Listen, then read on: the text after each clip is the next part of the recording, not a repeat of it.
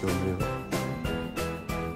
无偿没休息，很开心啊，接近尾声了。可是我的手腕、膝盖都开始痛了。成功三十天，送给我老婆的礼物完成啦，给我老婆一个惊喜，挑战传说中的满弓。哥哥，你头发有点乱。这是我给妈妈的那个口红。接下去三十天不休息，每天上班，Go！好，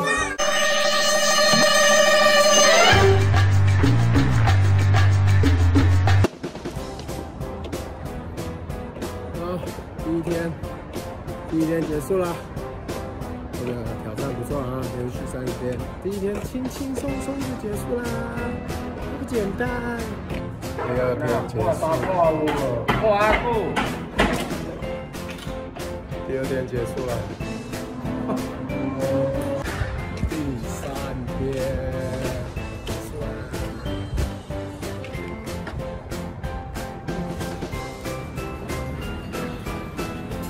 第四天结束。继续说说。第五天结束啦。一个礼拜喽，一个礼拜结束了。第八天，八八八八，哟，大家好，哦，今天第九天，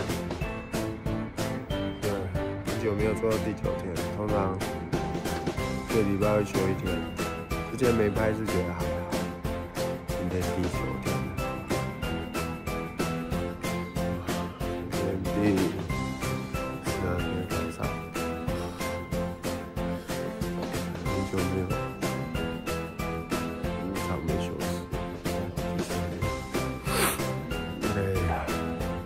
今天第十三天，哦，被抓起来！今天天气就老虎，休息一下下。小妹，今天第十四天，秋老虎晒的我都没调了。明天就半个月了，加油！再半个月，挑战就成功了，继续努力。看一下男人第十了，今天第十六天，第二个半个月的开始，啊，把它当做第一天来，啊，加油！今天。第十八天，跟台湾啤酒十八天一样，十八天。今天第十九天结束，啊，还自己还自己上班，啊，明天就二字头了哦，辛苦辛苦辛苦。接下来，今天第二十天，对你在时间，耶、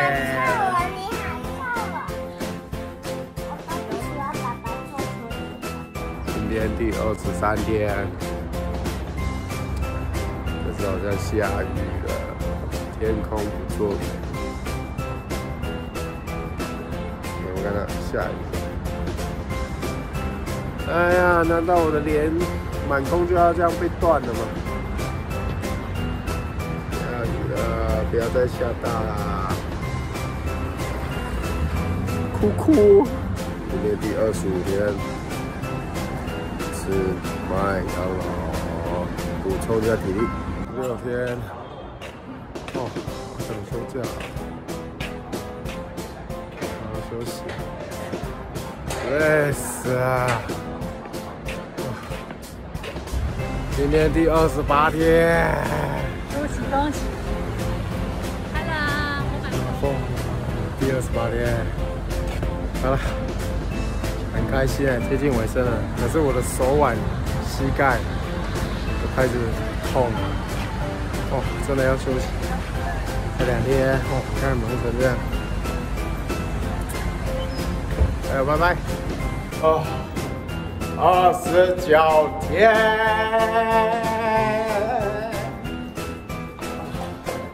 明天就三十天了，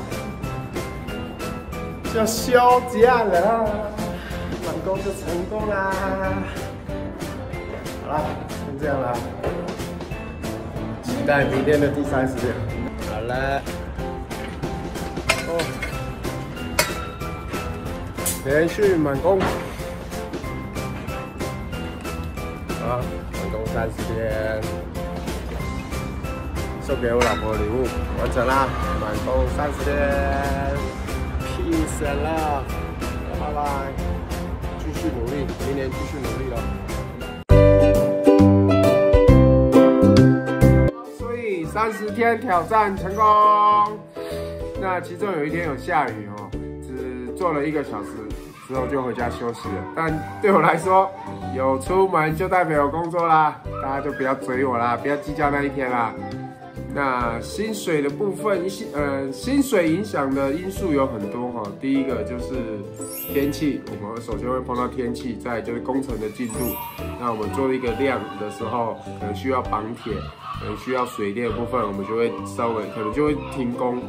那就是第三个就是我们的空窗期，空窗期就是你没有另外一个。朋友可以介绍，没有别的师傅可以介绍你别的厂，继续沿着下去做的话，你就会碰到空窗期。再来就是性别跟区地区的部分，男呃男师傅跟女师傅的价钱都不一样。那地区就有分台北部、中部、南部的价钱也不一样。